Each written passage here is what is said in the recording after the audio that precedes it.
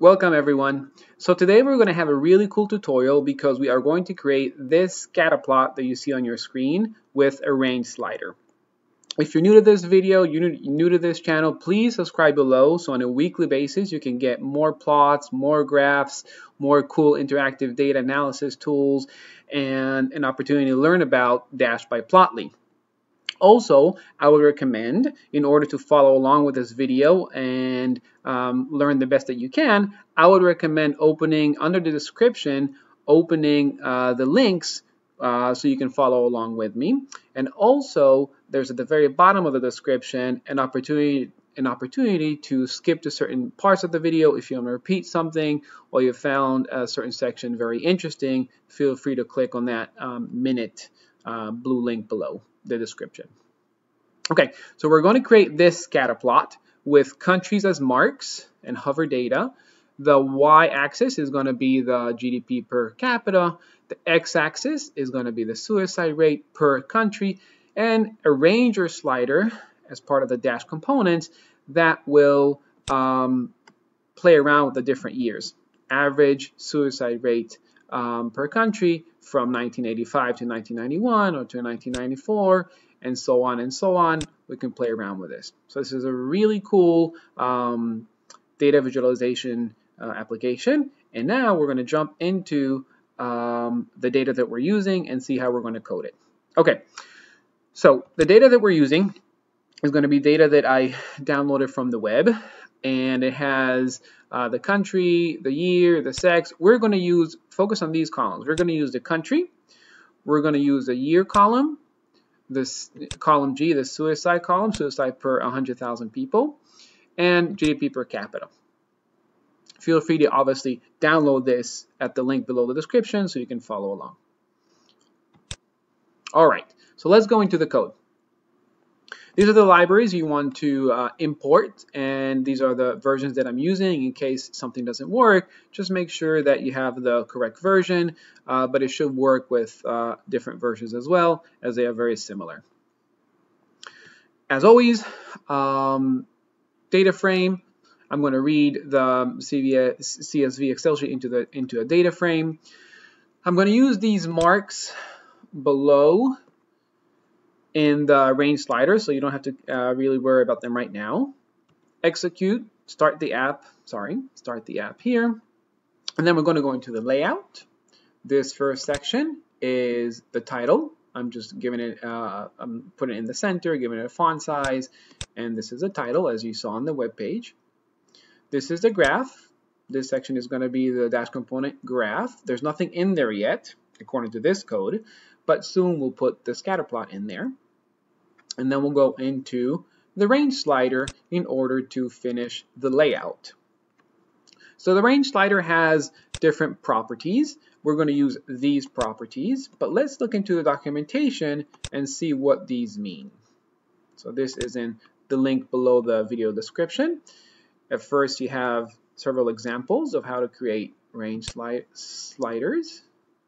This, like this. And then you want to go all the way to the bottom and you can see the references where you can see the different um, properties. So we're going to use ID because every component needs an ID that we can refer to at the end.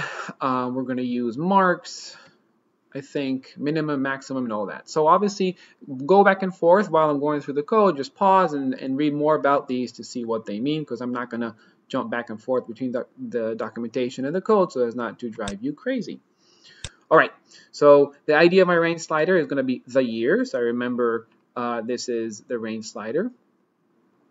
Um, a minimum value for the year is going to be 1985 because I know the Excel sheet starts from 1985 and the maximum is 2016. If I wanted only to go up to 2010, I will put here 2010. The value, I'm going to have, they call this, I'm going to put two values because I'm going to say it's going to be one handle, 1985 and 1988. If I added more values here, I would have um, separate handles in the range slider timeline. You can play around with it, put different dates, um, add more values to it, and you'll see what happens. But if you just put these two, this is a default that um, comes up when the page loads. Right here, let's see, 1985, 1988, between this one and this one. All right. Marks. Now we're going to use the mark values that we uh, defined above. The mark values are, and look at the documentation, uh, the marks are a dictionary of um, keys and values. Uh, the keys is what uh, what uh, the data is, 1985, the, the, integers, and then what then you have to put a string of that value. You have to put one integer, and then the value will be a string. And that's how you get these numbers here below. All right. so we're going to put the mark values, and then we're going to put step none. Step none means that I am not allowing the um, range slider to step in between the dates. Let's go back and see. Here we have 1985 and 1998. Now there are, obviously on the code, on the Excel sheet, there is 1986 and there is a 1987, but I put step none because I don't want that, that possibility for the user to jump in between those dates. I don't want too many dates. I just want um, the steps to be of increments of, of, of 3, which we defined in the mark values. So I just put step none. So in between these two or in between these two, there's no not going to be an opportunity to, to for the user to, to jump in between them. The next step will be just the next value, 1994. If I took this out, then you could jump in between the two dates. Then I'm just styling, so it's not taking up the whole page, and I'm done with the layout. All right, so let's go into the callback. The callback is really where you um, obviously uh, connect between what the user is choosing on the range slider and the graph. So I'm saying take, take the year, the component ID, the year, which is the range slider. Remember right here, the year. Take its value that will be influenced by the user's choice. And with this information, build a figure into the graph component. Right, the figure, the graph component is right here. So in this div, in this section of the um, web page, we're going to build a figure.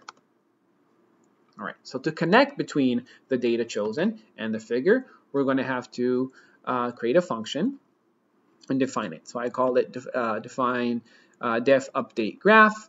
And as always, as you know from the first, if you watched the first two videos, the pie chart and the bar chart, uh, the only thing that goes, the argument that goes in here is the input, the value of the input, or at least the uh, yeah, the value of the input. So since we have only one input, we're going to have only one argument. You can call it whatever you want. I'm going to call it years chosen, just so I helps me remember what I'm going to do. So whatever the user chooses as the value of the, the range slider, 1998, 1995, whatever they, however they play around with this, these values are going to go into here.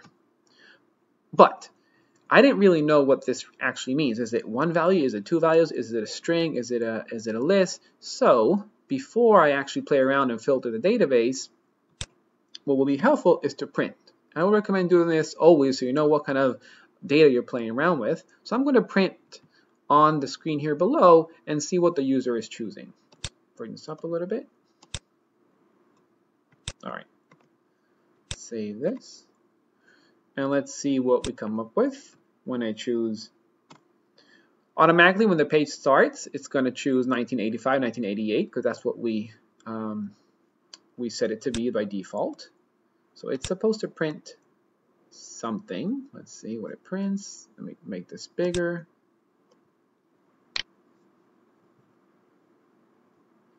Let's refresh the page and see what it prints so now I just activated the the callback, and it's printing 1985, 1988, because these are the default values that we chose, 1985, 1988. So we know that whatever the user chooses is going to come out as a list of two integers. And that's very important to remember because that now you're going to use this to play around with, the, to filter the data frame. All right, so I know that by default, the user has chosen, or as the user uh, updated, uploaded the page, we got these two, two years. Now, what I want to do is I want to filter the, the rows of the data frame so I get the average of um, suicide rates only for rows between the years of 1985 to 1988. So before I even filter average and, and play around with all that, I'm going to actually filter the years. So this is what I'm doing, this is how I'm doing it here. I'm saying, give me a copy of the, of the original data frame where the year is bigger or equal to the years chosen, which is actually the list here below, right? But the first value of it, the first value in the list. So the first value in the list is 1985. And as well, give me rows that have the year, the year column is smaller than or equal to the second value of the list. And the second value of the list is 1988. So in other words, it's just like saying filter the data frame rows where the column year values are bigger or equal to 1985 and smaller or equal to 1988. I don't want more than that. Only those years because that's what the range slider is showing. All right, so now that I have the filter data frame, I want to make sure that I'm showing the average of suicide rates. So let's look at the data again. In order to do this, we see that the data for every year, look at Albania here in 1987, there's not one GDP per capita. There's there's about 12 rows of the same GDP per capita with different suicide rates. Why? Because we have different uh, age groups and different genders. So I don't want to see all this. I just want the average for all the genders and all the age groups, uh, which means all of this for the year 1987. I just want the average of all of this. I don't want all these numbers because I'm doing it by, by year. In 1987, I need one value to come out of here, which is this average. So to do that, you write this line of code right here. You're going to group by country. And you're going to say index false because you don't want the country column to be an index. You want the index to stay the same, 1, 2, 3, whatever that is. And then you want to take the next two rows in the data frame, just suicide rate and GDP per capita, and just calculate their average. So what ends up, what you end up having, I, I had to do this a couple of times to make sure I'm doing this correctly. And I'm printing. Let's print. One second, let me close this. I'm going to print this so we see what we come up with. Once I know what we come up with, it'll be easier for me to populate the and create the scatter figure. All right, let's do this again.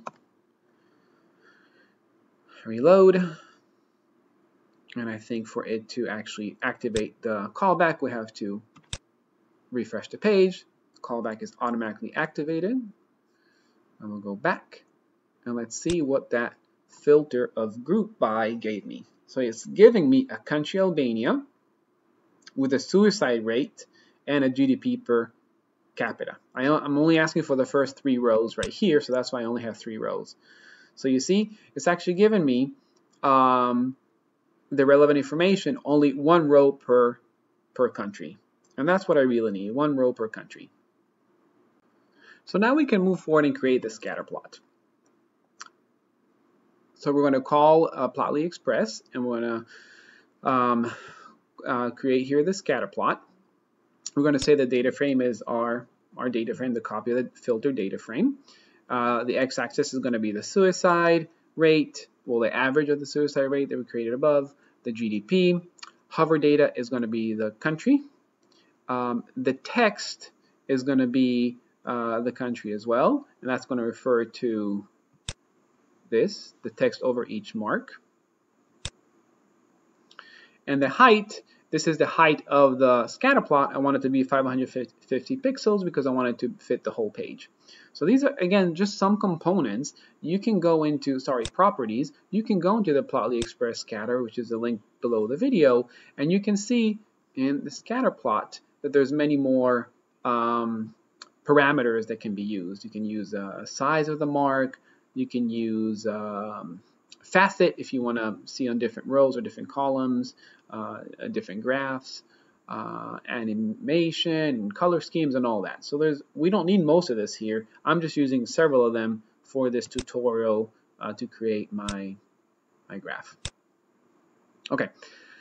Um, and this last line below is just saying that the text position of the country, I want it instead of to be by default right over the mark, I want it to be the top center, right above the mark.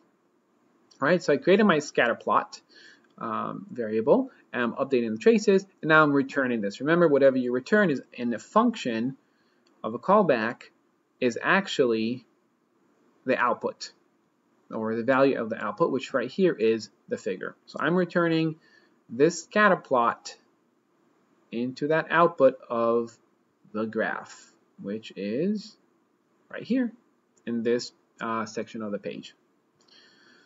So let us see. Let's do it again. Let us see the result. Loading. All right.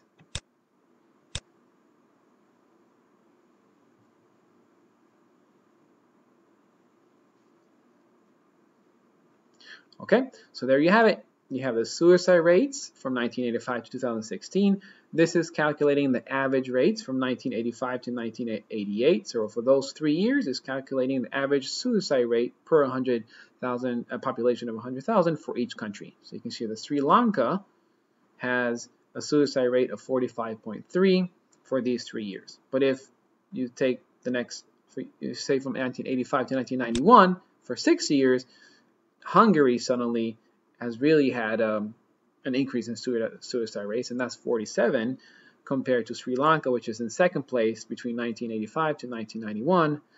Uh, not a very good second place. Second place in suicide rates, um, but still second place. And if we want to, we can go all the way to 2016, and we can see in the last 30 years or 31 years, the average suicide rate, the highest was for Lithuania. Sri Lanka and Russian Federation and Hungary. Now this is an average over 30 years. Remember, each row is one country. But we can say, I don't want to see all 30s. I just want to see 2016, which is also okay. Right, that. And we see that Lithuania was the highest in 2016, and Croatia was also uh, high up there, around 20 something. There you go.